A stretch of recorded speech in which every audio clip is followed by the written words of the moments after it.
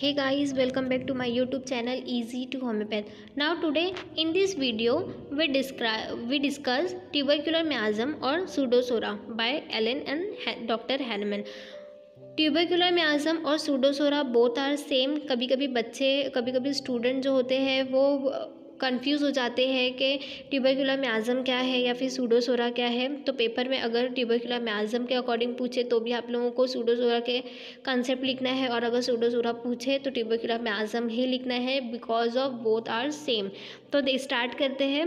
It is a combination of psora and syphilis miasm ये combination है psora and syphilis miasm का। So one may observe the feature of both this miasm इस patient में जिसमें tubercular miasm जो है exist कर रहा है, उसमें जो है दोनों म्याज़म के सोरेन सिफिलिस म्याज़म के फीचर्स जो है वो दिखाई देंगे। तो कुछ इंपॉर्टेंट फीचर्स हम देखते हैं ट्यूबरकुलर म्याज़म का first one is dissatisfy about the everything person जो होता है वो डिससेटिस्फाई होता है सारी चीज़ों से।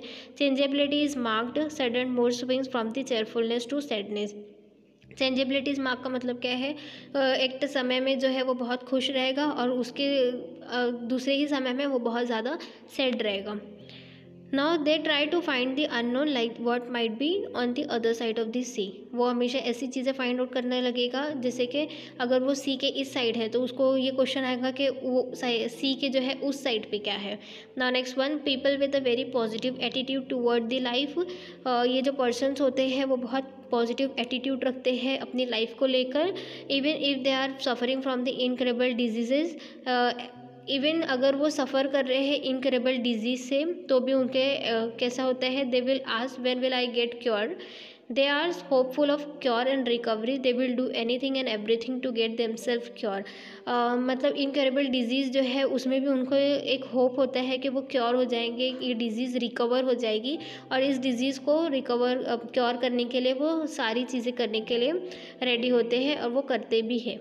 They start something new quickly loss interest and it's and then again try to find the something new अगर को, कोई पर्सन है वो कोई चीज़ जो है वो प्लान कर रहा है लेकिन फिर ना सडनली उसके उसका प्लान जो है उसको ऐसे कुछ इंटरेस्ट नहीं आता है करने के लिए और फिर सडनली वो दूसरा प्लान जो है वो बनाने लगता है लेकिन कोई भी प्लान पे जो है वो काम नहीं करता है।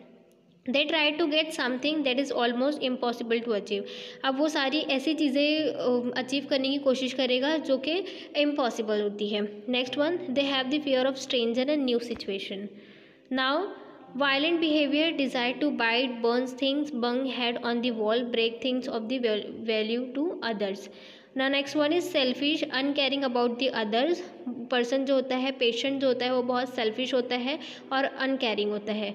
Fear of punishment they have a fear of dark and dog dogs and cat ये जो पर्सनस होते हैं इनको डार्कनेस से डॉग से एंड कैट से जो है बहुत डर लगती है। Now next one is at the physical level अगर हम फ़िज़िकल लेवल पे देखें कि tuber tubercular miasm and pseudopsora miasm के जो पेशेंट होते हैं फ़िज़िकल लेवल पे आ, उनका क्या कॉन्स्टिट्यूशन है तो देखते हैं। First one is headache headache on the Sunday और रेस्ट डे हेडेक कब होता है? संडे को होता है। Headache due to the deviation from the routine preparing for the examination etcetera headache किस वजह से होगा? अगर उनकी रूटीन डिस्टर्ब हो गई है और अगर एग्जामिनेशन में अगर कोई प्रिपेयर है प्रिपेरेशन ऑफ़ एग्जामिनेशन कर रहा है तो उस टाइम पे हेडेक होगा। Now headache with coldness of the hand and feet headache जो है हेडेक के साथ साथ जो है, उसके हैंड्स और फीट जो हैंगे, वो बहुत कोल्ड रहेंगे। Now rush of the blood to head red face aggravation forenoon and heat and ameliorate by the rest sleeping in the quiet place and now next one is patient may become a semi conscious due to the pain now next one is face eruptions behind the ears that are thick pustular and having the thick crust discharges from the ears are offensive cheesy and curdled curdled कैसा होता है कि जो ear के जो discharge होंगे, वो बहुत ऑफेंसिव रहेगा और बहुत चीजी रहेगा। Pain in ears aggravated at night and exposure to the cold air and relief in day pain जो होगा एग्रावेट होगा वर्स्ट होगा नाइट में एंड एक्सपोज होगा किसकी वजह से? कोल्ड एक्सपोजर और कोल्ड एयर की वजह से एंड उसको रिलीफ कब होगा? डे टाइम में. Now next one is nose epistaxis epistaxis का मतलब होता है bleeding from the nose due to the slightest injury blowing the nose और even washing the face physical exercise and overheating देखो, अगर नोज़ की बात करें तो नोज़ में कैसा होगा कि उसको मतलब ब्लीडिंग होगी। क्यों? स्लाइट इंजरी की वजह से भी हो सकती है। इवन अगर कोई पर्सन है जिसको फेस वॉश करने पे भी ब्लीडिंग हो रही है आप लोगों को ये सारे एम एम पढ़ने एम एम की जो ड्रग है उसमें इजीली मतलब अगर कोई एम एम ड्रग आप पढ़ रहे हो तो उसमें जो फीचर्स आप लोगों को ये सब मिलेंगे तो आप लोगों को ईजी होगा समझने के लिए कि आ, कौन से पेशेंट के अंदर अगर ट्यूबरक्यूलर मैज़म एग्जिस्ट कर रहा है तो उसके क्या क्या फीचर्स होंगे। ठीक है? Now next one the blood is bright profuse and difficult to stop अभी देखो, अगर एपिस्टेसिस है तो उसका जो ब्लड है कैरेक्टर ऑफ़ ब्लड जो रहता है, वो बहुत ब्राइट होगा प्रोफ्यूज होगा और डिफ़िकल्ट होगा स्टॉप जल्दी स्टॉप नहीं हो पाएगा। Now next one is stomach ravenous hunger hang hungry immediately after a full meal खाना खाने के बाद भी खा, उसको बहुत ही ज़्यादा ऐसे महसूस होगा कि मुझे भूख लगी है।